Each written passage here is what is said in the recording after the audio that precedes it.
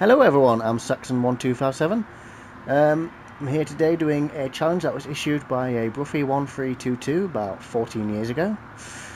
If you're out there, Brough, and you see this video, hello!